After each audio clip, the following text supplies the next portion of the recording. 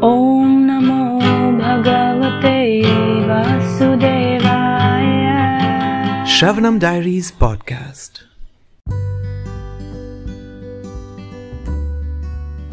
Bhagavad Gita as it is, the book by His Divine Grace Abhay Charanaravinda Bhaktivedanta Swami Prabhupada. Chapter 7 Knowledge of the Absolute, Text 24. Avyaktam vyaktimapannam manyate mam abudhaya param bhavam ajananto mama vyayam anutamam. Unintelligent men who do not know me perfectly think that I, the Supreme Personality of Godhead, Krishna, was impersonal before and have now assumed this personality. Due to their small knowledge, they do not know my higher nature, which is imperishable and supreme. Purport Those who are worshippers of demigods have been described as less intelligent persons. And here the impersonalists are similarly described. Lord Krishna, in his personal form, is here speaking before Arjuna.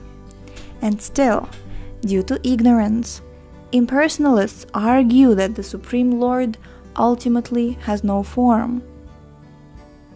Yamunacharya, a great devotee of the Lord, in the disciplic succession of Ramanujacharya, has written a very appropriate verse in this connection. He says,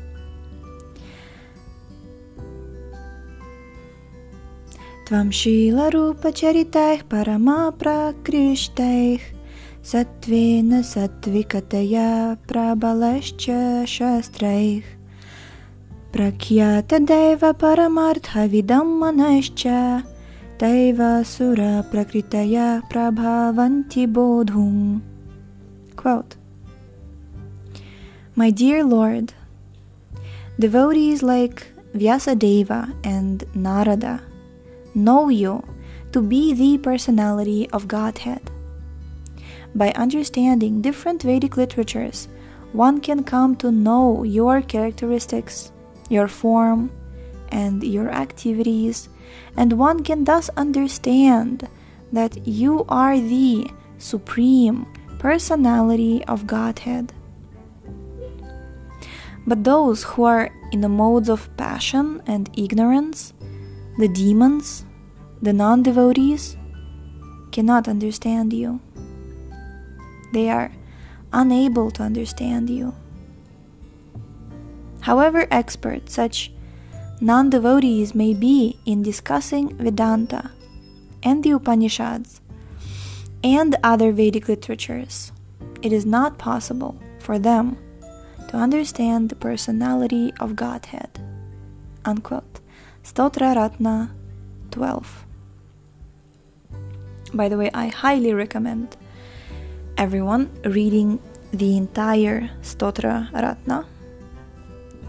By the way, today is actually my my wedding anniversary, and um, yeah, it's five years. Every all of our friends and family and uh, followers, subscribers, there uh, congratulating us and. Uh, we're very very grateful and feel very fortunate. Why i'm saying this is because stotra ratna is the book that um, the first book that it was like the first kind of like a exchange between me and my to-be husband when we just started um, uh, marriage negotiations.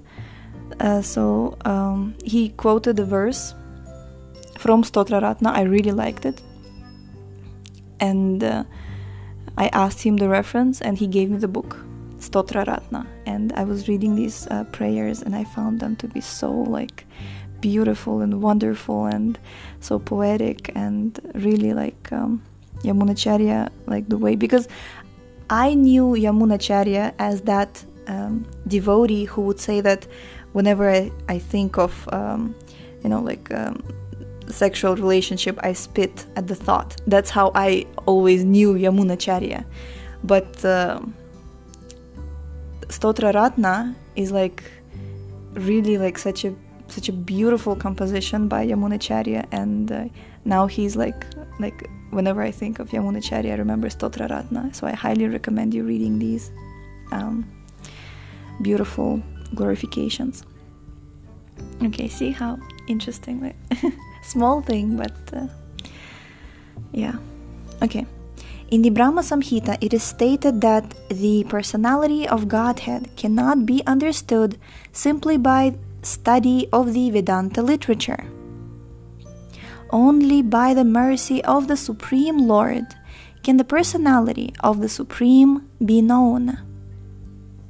Therefore, in this verse, it is clearly stated that not only are the worshippers of the demigods less intelligent, but those non devotees who are engaged in Vedanta and speculation on Vedic literature without any tinge of true Krishna consciousness are also less intelligent.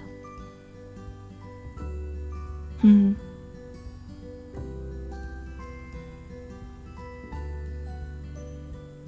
This can also apply to us, just saying.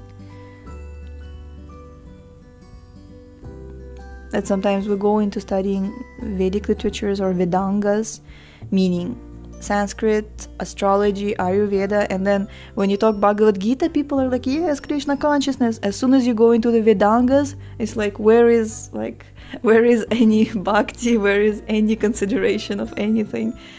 People, and it's literally known, and it's it's a, it's like tragic how such some um, sometimes like people get completely lost in the flowery language of the Vedas in this kind of like uh, yeah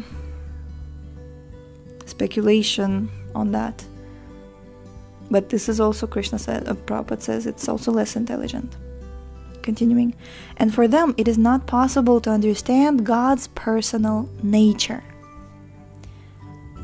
So if we study Vedanta, speculate on Vedic literature, worship demigods without understanding God's personal nature, that's we're being less intelligent because it doesn't mean that you know oh worshiping the demigods is less intelligent. Like i still remember um, uh, this year when bimla prasad prabhu was giving the gayatri course some student they mentioned that some devotees don't want to chant gayatri because they don't want to be sun worshippers.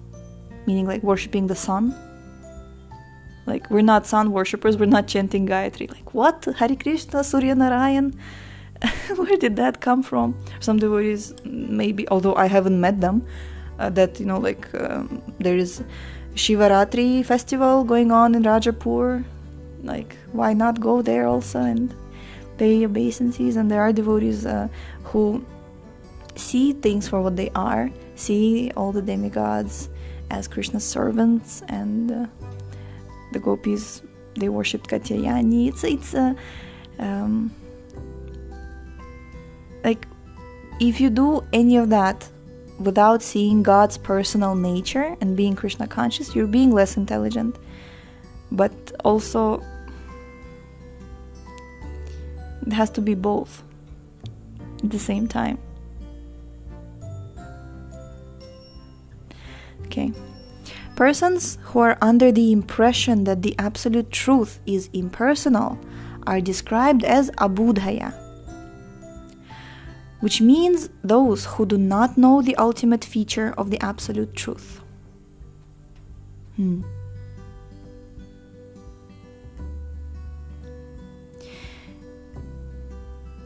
In the Srimad Bhagavatam, it is stated that supreme realization begins from the impersonal Brahman and then rises to the localized super soul, but the ultimate word in the absolute truth is the personality of Godhead.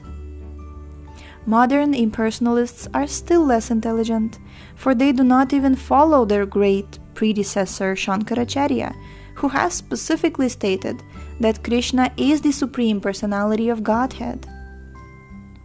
Impersonalists, therefore, not knowing the supreme truth, think Krishna to be only the son of Devaki and Vasudeva or a prince or a powerful living entity This is also condemned in the Bhagavad Gita 9.11. Avajananti mammudha manushim tanumashritam. Quote, Only the fools regard me as an ordinary person. Unquote. The fact is that no one can understand Krishna without rendering devotional service and without developing Krishna consciousness. The Bhagavatam 10.14.29 confirms this. अथापि ते देवा पदम्बुजद्वया प्रसादलेशानुगृहीत एव हि जनाति तत्त्वं भगवान् महिम्नो न चन्य एकोऽपि चिरं विचिन्वन् Quote, My Lord, if one is favored by even a slight trace of the mercy of your lotus feet, he can understand the greatness of your personality. But those who speculate to understand the Supreme Personality of Godhead are unable to know Him. Oh, he's addressing the Lord. Are unable to know you, even though they continue to study the Vedas for many years. Unquote. Hmm.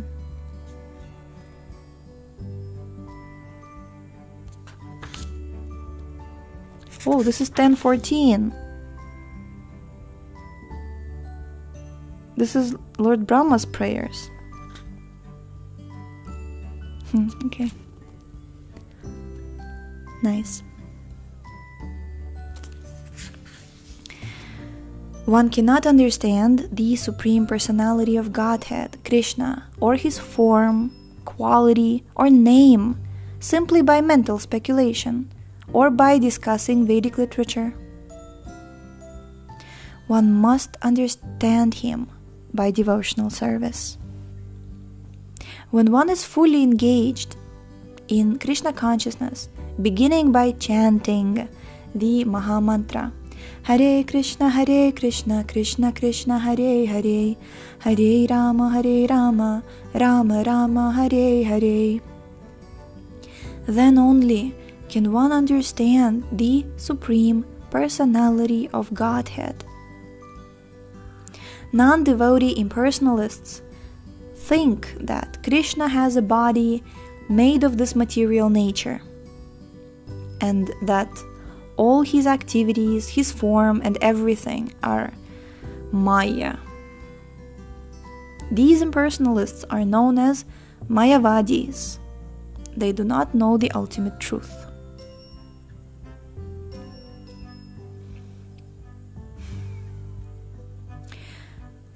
The 20th verse clearly states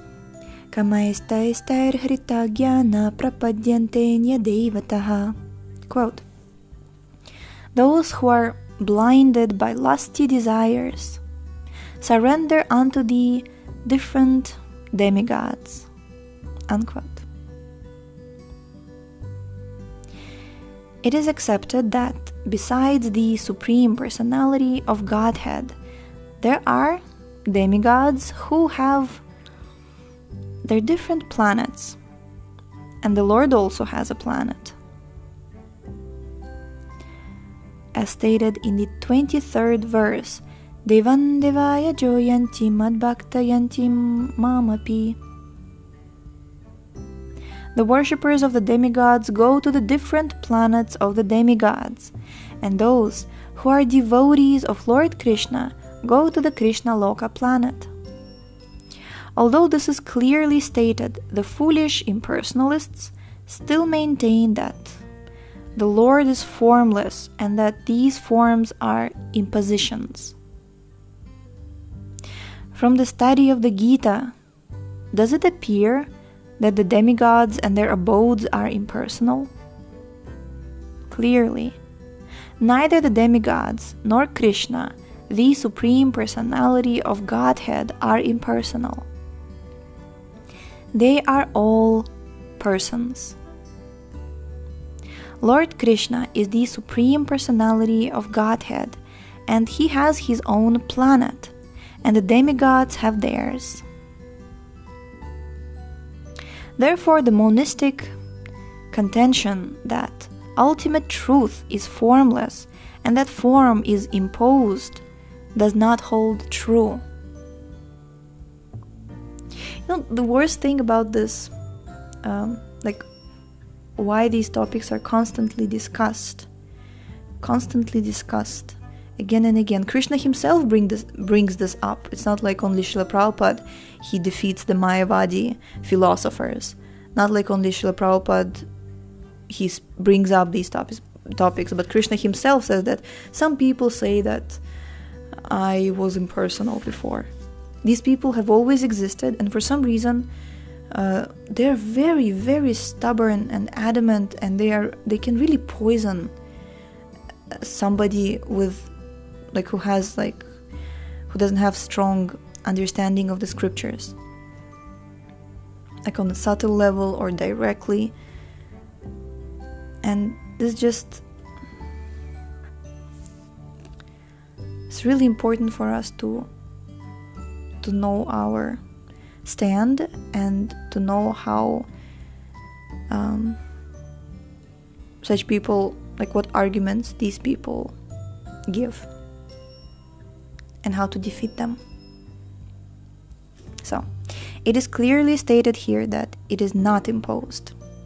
From the Bhagavad Gita, we can clearly understand that the forms of the demigods and the form of the Supreme Lord are simultaneously existing, and that Lord Krishna is Satchitananda, eternal, blissful knowledge. The Vedas also confirm that the supreme absolute truth is Anandamaya Vyasat, or by nature full of blissful pleasure, and that he is the reservoir of unlimited, auspicious qualities. And in the Gita, the Lord says that although he is Aja, unborn, he still appears.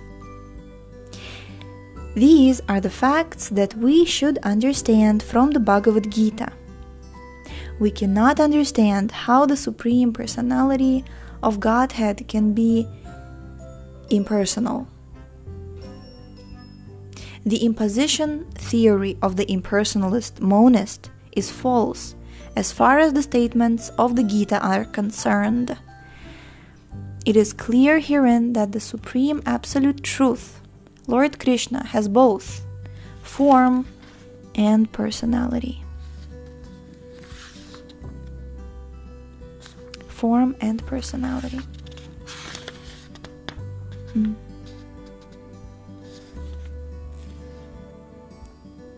Yes. Okay, we shall continue tomorrow.